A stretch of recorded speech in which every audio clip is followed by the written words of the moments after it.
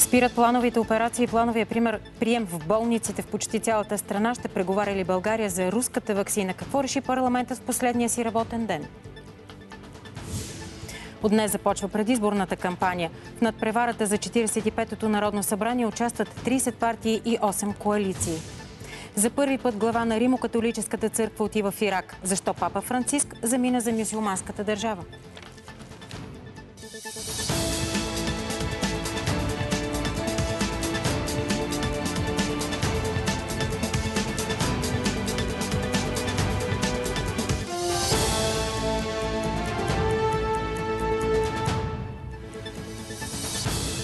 Здравейте! Вие сте с новините в 18. От понеделник плановия прием и плановите операции спират в болниците в онези региони, които са в червените зони в страната. За съжаление, както виждате, това е в почти цяла България. Към днешна дата три четвърти от страната е в тревожната червена COVID-зона. Заболели над 120 души на 100 000 население. Заповед за това на национално ниво няма да има, а всеки областен щаб трябва сам да реши как да действа. С подробностите сега по темата включваме Цанка Николова. Цанка, здравей! Защо се стигна до тези нови мерки? Добър вечер. По-високата заболеваемост от последните дни а, предполага и преустановяването на плановия прием и на плановите операции във всички болници в червената зона. Забраняват се изсвижданията в лечебните заведения.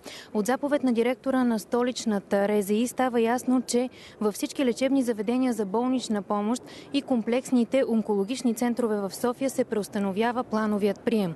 Изключение обаче има за дейностите свързани с трансплантация операции, диагностика и лечение на пациенти с онкологични и онкохематологични заболявания, дейностите по асистирана репродукция и ражданията, дейностите по рехабилитация, продължително лечение и психиатрична помощ. Заповедта влиза в сила в понеделник. Според директора на Александровска болница ситуацията предполага по-сериозни мерки, които да бъдат взети от страна на лечебните заведения у нас. По този начин ще се освободят достатъчно легла за COVID пациенти, като така няма да се натоварват болниците. Каква е ситуацията в Александровска болница, където се намираме в момента? Вижте. В Александровска болница от предишното ми гостуване във вашето студио до ден днешен това, което наблюдаваме, е, че на седмична база се увеличава процента на новопостъпилите с COVID-19, средно с около 2-2,5%. Сега в COVID бокса или COVID отделенията лежат 103 пациенти и всеки ден имаме нови случаи с около 4-5 от всички, които преминават през спешното отделение. Имаме свободни места. Заетите са около 40% от общо разкритите. Александровска болница не закри леглата ковидните, защото имахме ясна представа, че това ще се случи горе-долу, кога ще се случи новата вълна.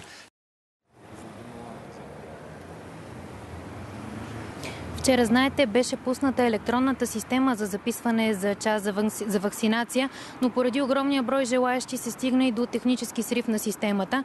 Професор Борис Богов вижда някои проблеми в нея. Според него това, че всеки може да избира сам вакцината си, може да доведе до проблем заради забавянето на доставките от страна на фирмите. Цанка Николова за ситуацията в София. От днес в област Враца са в сила по-строги противоепидемични мерки заради увеличаващия се брой на заразените с COVID-19. Задължително е носенето на защитна маска на открито при струпване на хора, а в лечебните заведения са забранени свижданията констатираната висока заболеваемост, която за последните 14 дни е 493 лица на 100 хиляди, което за нас е много висока цифра. В първия и втория пик на пандемията ние не бяхме достигали до такива цифри. В момента е под сериозен натиск и трите отделения. И ние бихме искали с тези допълнителни мерки, които са разпоредени от директора на РЕЗИ, да стопираме малко това постепенно повишаване на броя на заразените лица. Винаги ги носиме. Изпълняваме разпорежданията. Така че Обаче, като погледнете наоколо, не е така, нали? Попитайте тех защо ги не носят. Не знаех. Значи имам я в момента, ще я сложа. Да покажа дисциплинираност. Не, за от вас чувам. Ще се коригирате ли? Да, ето, веднага слагам. Благодаря. Ето как изглежда картината на разпространение на COVID-19 у нас. 2198 нови случая при направени 12 167 проби. Това означава, че положителните са около 18%.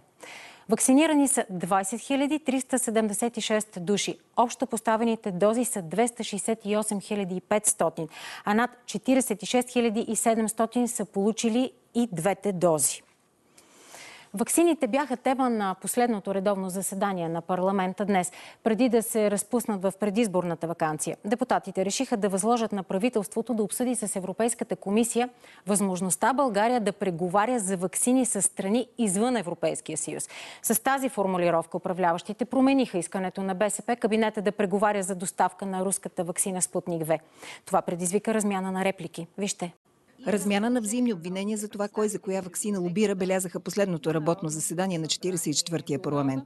Опозицията настоя тяхното предложение за руската вакцина Спутник да се гласува отделно от предложението на управляващите. Отрекоха да лобират заради пристрастие. Ако половина Европа са лобисти на ниво лидери и правителства, Израел, Турция, Черна гора, Сърбия, то цяла Европа лидерите им са обхванати от някакъв лобизъм за руска ваксина. Не, тези хора имат характер. Мотивът на управляващите да променят формулировката и да отхвърлят решение за преговори само за руската вакцина е да дадат по-голяма възможност за договаряне на вакцини с страни извън Европейския съюз. Искат още и да се спази законодателството, а то изисква вакцините да са одобрени от Европейската лекарствена агенция.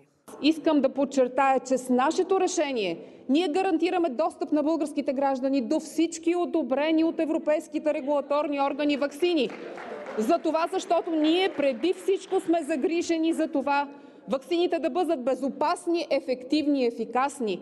Зампредседателят на парламента Валери Симеонов предложи компромисен вариант, за да прекрати размяната на реплики. Възлага на Министерския съвет да предприеме всички необходими действия за осигуряване в страната на необходимите за изпълнение на Националния вакцинационен план за COVID-19 ваксини след одобрението им от Агенцията по лекарствата и Министерството на здравеопазването на Република България. Предложението беше отхвърлено. От ДПС са убедени, че ваксините трябва да са изпитани и одобрени, но определиха подмяната на искането на БСП с друго като еманация на политическото надцакване. Беше правилно да се отправи едно послание може би за първи път в края на това Народно събрание от цялата Комисия по здравеопазване, както и от Народното събрание, че с грижа за хората се възлага на Министерски съвет, спазвайки правилата, които са определени от регулаторните органи, да направят всичко възможно да обезпечат достатъчно количество ваксини.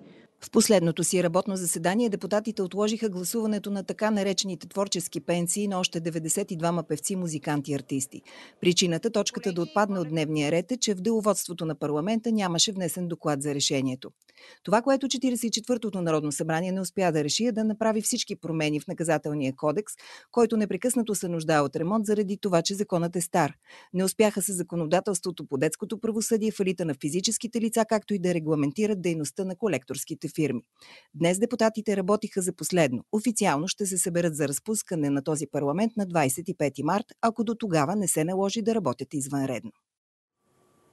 Предизборната кампания за 45-то Народно събрание започна днес. Ще продължи до 2 април. Всички събития, свързани с кампанията, трябва да са съобразени с противоепидемичните мерки. 3 април е ден за размисъл. За подкрепата на избирателите се борят 22 партии и 8 коалиции. Много допълнителна информация може да намерите на интерактивния ни сайт за изборите. В него се влиза през bntnews.bg. За първи път предлагаме цялостна база данни с листите на политическите формации и кандидат-депутатите. Ще можете да откриете и битките по райони и политическите платформи, новини за кампанията, както и важна информация за гласуването с машини, предпазните мерки заради COVID-19, срокове. Информацията може да се филтрира по региони с интерактивна пътната карта. Диспутите, участията на политици в актуалните предавания, както и гласовете на България, ще може да гледате на живо или на запис на bnt.bg. И още новини от деня. Българската армия се развива с непознати темпове през последните три години. Оценката е на президента и върховен главнокомандващ Румен Радев. На годишната конференция на началника на отбраната стана ясно, че делът на заразените с коронавирус войници остава 2%. Стана ясно още, че българска фирма може да произведе новите бронирани машини за пехотата. Българската армия остава на първа линия в борбата с коронавируса. 2% от военнослужащите в българската армия са заразени с коронавирус. Военно-медицинската академия и петте основни военни болници продължават да поддържат най-много легла и да приемат най-много пациенти. Ние мобилизирахме и всички от тези военнослужащи, които имат медицинска подготовка. Т.е. те са минали през обучение за санитари. Да облегчат труда на лекарите и на медицинските сестри в военните болници. Заради заразен екипаж е отменено участието ни в учението Посейдон на НАТО в Черно море. Когато в един екипаж от 40 човека имаш 4-5 болни, логично е да го поставиш целият екипаж под карантина, а не да ги пуснеш да излязат в открито море. Проекта за два нови модулни патрулни кораба и изтребителите F-16 вървят в срок, отчета началника на отбраната. Отчетахме една динамична, трудна, предизвикателна година, но общата оценка е, че армията се справи блестящо с задачите. Президента и върховен главнокомандващ на въоръжените сили Румен Радев даде също висока оценка за армията, която продължава да работи с стара техника, недофинансиране и в условията на пандемия. За последните 2-3 години въоръжените сили се развиват с темпове непознати от последните десетилетия. Той алармира обаче, че страната ни може да остане без учебна авиация тази година, а летателните часове на бойните ни летци са опасно малко. Има опасност учебната ни авиация тази година да остане без самолети, което обесмисля проекта за изтребителя. Проекта за нови 150 машини за пехотата ще бъде променен и може би ще бъде изпълнен от фирма от българския военно-промишлен комплекс. Шофьор с над 3 промила алкохол в кръвта е причинил катастрофа с един загинал на пътя между Врачеш и Ботевград. По чудо няма други загинали и ранени при инцидента. Детайлите за катастрофата събра Иво Никодимов. Иво, здравей! Оказва се, че причинилият катастрофата пиян шофьор е добре познат с провиненията си зад волана и на полиция, и на прокуратури, и на съд. Така ли? Точно така. Той два пъти вече е осъждан за това, че е карал пиян, т.е. бил е с над 1,2 промила алкохол в кръвта. Има още няколко санкции, защото е хващан с, а, а, като пиян, но с по-малко от 1,2 промила. Прави впечатление, че само за последните две години на него са му съставени над 19 акта за най-различни нарушения. Водач е с а, така доста административно-наказателни актове по Закона за движение пътищата. За последните няколко години има е залавян с управление на МПС с употребен алкохол над 1, 2, 3 пъти. Така че оказва се, че същия е доста агресивен водач и доста опасен за останалите. Наказанията са му пробация. Едното е 2007 година, другото мисля, че 2010 беше. Специално за употреба на алкохол. Тоест в случая няма да бъде в условията на рецидив да се гледат? Не е предвидено наказание, не е предвидено престъплението да е при условията на рецидив за употреба на алкохол, но а, той е различен състав, т.е. отежняващо вината обстоятелства,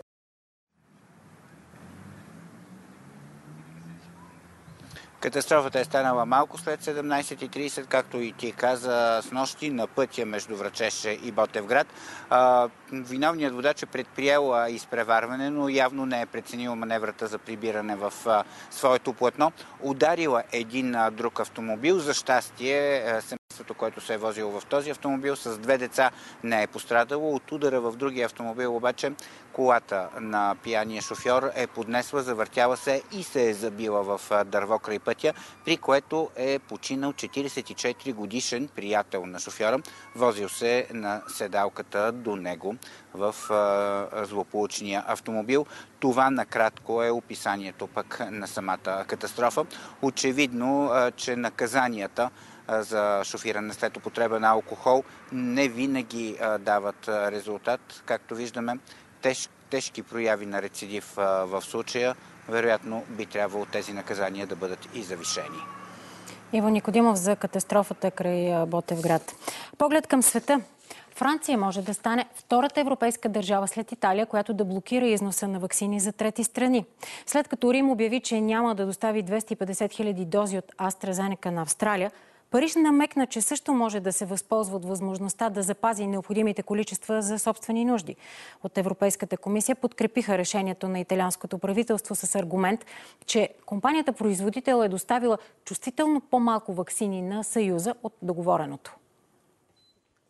Напрежението между AstraZeneca и Европейския съюз продължава да се покачва. Брюксел и компанията се договориха за 300 милиона вакцини с опция за допълнителни дози, но вместо очакваните до края на март 100 милиона, от AstraZeneca ще доставят само 40.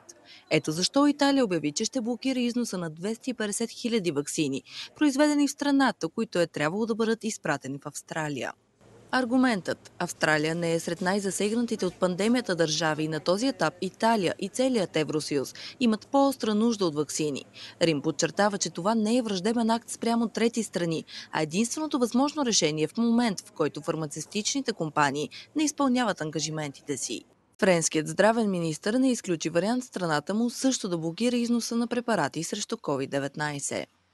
Франция вярва, че трябва да имаме един европейски подход. Обсъждаме ситуацията с нашите италиански партньори, както и с другите страни членки. Трябва да бъде сигурно, че производителите ще изпълнят поетите към нас ангажименти. Австралийският премьер заяви, че една липсваща доставка няма да попречи на вакцинационния план в страната му. Въпреки това, той призова Европейската комисия да преразгледа решението на Италия. В Италия умират по 300 души на ден. Разбирам защо там, а и в други европейски държави се притесняват от ситуацията. Преминават през тежка криза, а същото не въжи за Австралия. Въпреки това, ние ще направим всичко възможно да си подсигурим необходимите дози от вакцините на Pfizer и AstraZeneca. От Еврокомисията съобщават, че макар и други държави от Съюза да са изразили готовност временно да блокират износа на вакцини, за сега единствено Рим е подал официално искане. Комисията няма да попречи на страните членки да прибегнат до такава мярка, тъй като производителите на вакцини не спазват оговорения график за доставки за Съюза. Папа Франциск започна 4-дневно историческо посещение в Ирак. Това е първото задгранично пътуване на папата след началото на пандемията и първо изобщо посещение на глава на Римокатолическата църква в арабската страна. Светият отец ще изрази солидарност с намалялата християнска общност в Ирак и ще насърчи междурелигиозния диалог, като се срещна с най-високо поставения духовен водач на мюсюлманите шиити. Папа Франциск предприе визитата в Ирак въпреки рисковете със сигурността и коронавируса. Това е емблематично пътуване и е дълг към земята, която беше мъченик толкова много години, каза светият отец. На летището в Багдад той беше посрещнат от иракския премьер Мустафа Ал-Кадими и получи топъл прием от домакините. Официална церемония по посрещането на главата на Римо-католическата църква се състоя и в президентския дворец в Багдад. 84-годишният папа каза също, че идва в Ирак като поклонник на мира. През 1999 Йоан Павел II отлага посещение в арабската страна, след като преговорите с тогавашното правителство на Садам Хюсин се провалят. Не може иракските християни да бъдат изоставени втори път, каза Франциск. Християните в Ирак са се свили до около 250 хиляди души от милиони 400 хиляди. Много от тях бягат от размириците и насилието, обхванали страната след американската инвазия през 2003. Десетки хиляди се спасяват от изтъпленията на Ислямска държава през 2014. Нека оръжията замлъкнат, призова папата в президентския дворец. Нека разпространението им бъде ограничено, тук и навсякъде. Нека пристрастните интереси да свършат и гласа на миротворците да бъде чут. Гласа на смирения, бедния, обикновените мъж и жена, които искат да живеят, работят и да се молят в мир. Папа Франциск посети и католическата катедрала в Багдад, където се срещна с епископи, свещеници и семинаристи. Три мощни земетресения разлюляха крайбрежието на Нова Зеландия. Беше издадено предупреждение за цунами, което няколко часа по-късно беше отменено. Най-силният трус е бил с сила 7,9 по Рихтер според Европейския сизмологичен център, като най-близо е Северният остров. Местната агенция за извънредни ситуации нареди на жителите да се евакуират. В медиите се появи информация за задръствания и проблеми с движението. По-късно стана ясно, че гражданите могат да се върнат по домовете си, но препоръкът е да избягват крайбрежието.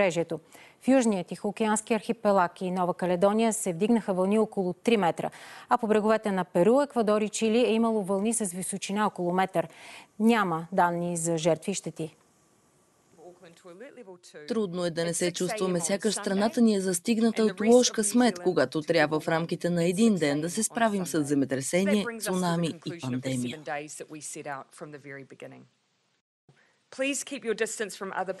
Вълнение и в спорта имаше днес. За какво става дума? Сега ще разберем от Тереза. Здравей, Тереза. Здравей, Поли. Права си вълнение имаше, но за съжаление не с положителен знак. Скандалите в плуването продължават. Тримата ни пловци с квоти за Олимпийските игри влязоха в конфликт. Под публикация в социалните мрежи Антони Иванов нападна задочно Йосиф Миладинов и Калян Левтеров, заявявайки, че се страхуват да застанат срещу ръководството на федерацията. Последваха остри отговори. Искрата на раздора запали коментар на трениращия в САЩ Антони Иванов под публикация в известна фейсбук страница за плуване. Няма да има нито истина, нито промяна. Всички са пили едно и също. Който е хванат, хванат. Най-жалкото е, че очаквах повече от някои хора, които си мълчат и се крият, защото ги е страх. Няма как да бъдеш голям спортист, ако не си голям човек. Да се крият на Дянабад и това е. От тук нататък, ако ще и световни рекорди да направи някой подготвил се по тези лагери, няма да повярвам, че е чист. Смешно е. Готвещите се с националния отбор Йосиф Миладинов и Калуян Левтеров не се забавиха да отговорят. Кой се крие, смешник? Вече прекаляваш тези твои изказвания. Ако имаш нещо към нас или към мен, ще чакам като си дойдеш да ми го кажеш в очите. От какво се крием? Не мога да разбера. Повече не мога да слушам твоите изказвания. Никакъв морал. Самият Антони заяви, че няма да стъпи на лагер на националния отбор, докато настоящото ръководство на Българската федерация по плувни спортове не подаде оставки. За тримата предстои Европейско първенство в Унгария през май, а след това и същинското препятствие Олимпийските игри в Токио след по-малко от 5 месеца. Продължаваме с футбол. Не трябва да си мълчим, когато виждаме нередностите в съдийството, а отговорните органи трябва да предприемат действия за сериозни промени. Това заяви менеджерът на ЦСК 1948 Красимир Балъков по повод скандалите в родното съдийство. От клуба поискаха председателят на съдийската комисия Костадин Гергинов да понесе отговорност, а правата на рефера Никола Попов да бъдат спрени. След като в продължение на 5-6 мача подред се случват тези грешки. Ние не можем да мълчим постоянно, ние трябва да се обадим, защото иначе ако мълчим, тези грешки може да продължат, а те може да изкарат извън нашите цели. Мозъка ни е гениален, е развит гениално, а духа ни е, е джудженци. Българин е свикнал да търпи, да търпи, да търпи, но в края на краища, ако искаме и политически, всякак, всяк, всячески да се оправим. Аз ме ме интересува футбола. Е хубаво да има градивна критика. Хората, които се занимават и към които е обърната тая градивна критика, трябва да се направят много, много добре а, така, да обмислят и да вземат някакви решения. В поредния кръг от шампионата ЦСК 1948 гостува на Етър, а Балаков очаква тежка битка за трите точки. Не обичам да губя макар и срещу отбора, който ме е създал като футболист. Още спортни акценти и любопитни теми от деня очаквайте в централните ни новини минути преди 21 часа. Последните секунди в емисията сега запазихме за една много интересна, нестандартна изложба. Остани ще ти бъде любопитно. Изложбата е в Бяло море, буквално в морето, под водата и по-конкретно под леда. Експозицията с име Дълбоко замразяване се намира в залива Нилмогуба. Повече от половин година организаторите на проекта проучвали как да представят произведенията без да ги поврежда солената вода. В крайна сметка се спрели на варианта пластмаса с УВ печат. Изложбата включва 10 фотографии и картини на известен художник от Санкт-Петербург, биоморфни скулптури и инсталации. Целта на проекта е да насочи вниманието към бързото течение на ледниците, топенето им и изчезващите дълбочинни видове. Моркачи от Русия, Китай, Германия и Франция вече се насладиха на експозицията. Така се разделяме. Останете с БНТ. Започва предаването още от деня. Довиждане.